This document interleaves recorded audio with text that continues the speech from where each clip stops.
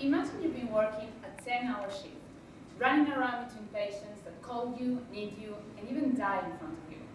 You're stressed and you couldn't even take a break. Now you have to choose between sitting on a comfy couch and have some chocolate, or eat a carrot and go for a 30-minute walk. Which one would you choose? for many nurses, making healthy choices during or after their shift is not that easy. So it's little surprise then that approximately 60% of nurses overweight and obese.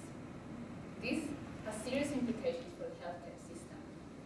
We know that inactivity and poor diet lead to obesity and chronic health issues, which impact productivity and quality of care.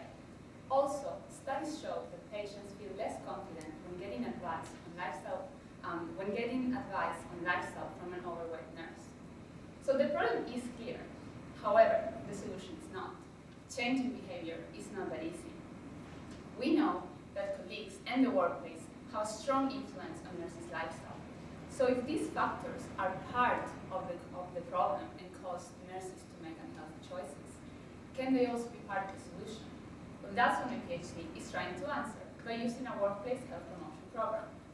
We've been saying eat less and exercise more for the past decades. So everyone here, especially nurses, know the consequences of unhealthy choices. But eliciting any behavior very complex, as this is a result of external and internal factors. Therefore, to take the scale, we need an innovative approach that uses behavior change theories suitable to the target group.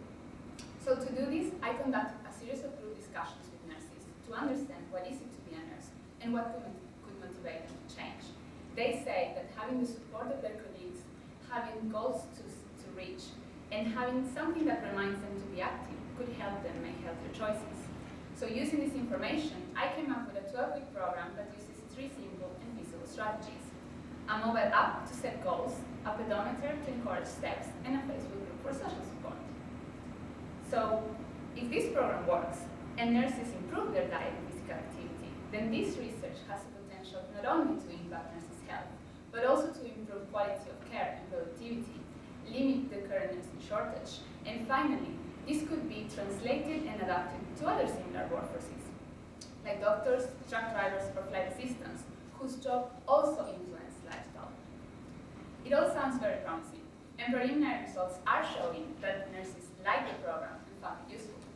But did nurses change their diet and physical activity? Well, ask me